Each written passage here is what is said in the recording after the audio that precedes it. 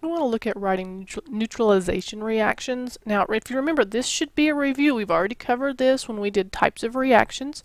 So remember, it always makes a salt and water. If you can't remember that, you just take your inside and your outside elements to create your new compounds. So this one right here is automatically going to give me H2O and BAF2. Now, is it balanced? Well, I noticed that there's two OHs on the left. So for practical purposes, remember I said if you have a hydroxide on the left, it would be really cool if you had one on the right. So I'm going to rewrite the water as HOH. I notice that I have one F here. I've got two on the right, so I'm going to put a 2 here. That gives me two hydrogens, and there's also two OHs, so I put a 2 here. Now, would you like to leave it like that?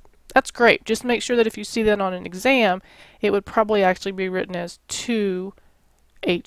Now, what about the next example? Look, it's an acid and a base, because it's going to be a neutralization reaction. Same thing. This is going to make water and NaClO4.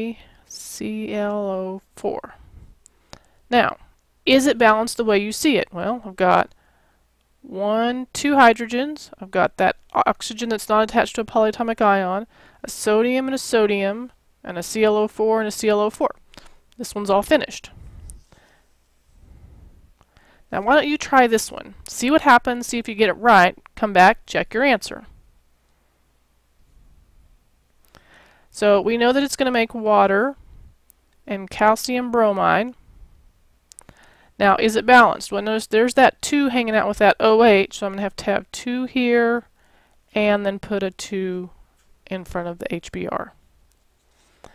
And for our final example, you get water and a salt.